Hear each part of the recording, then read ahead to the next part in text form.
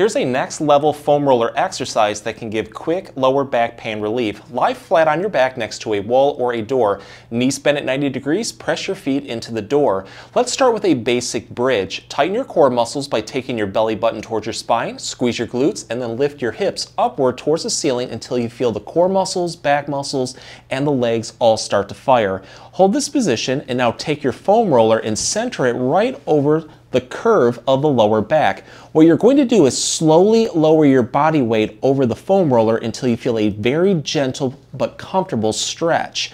Once you feel that, let's take this one to the next level by putting in a pelvic tilt. So rocking our hips forward and backward just like this. The foam roller will glide over the lower back and it usually feels really, really good.